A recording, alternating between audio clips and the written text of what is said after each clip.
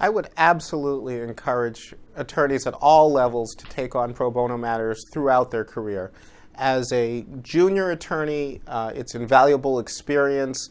You get to do things that you wouldn't otherwise get to do further on in, until further on in your career. Uh, you um, you can run cases, you can have client contact, uh, you can make strategic decisions, and you can learn about new areas of the law.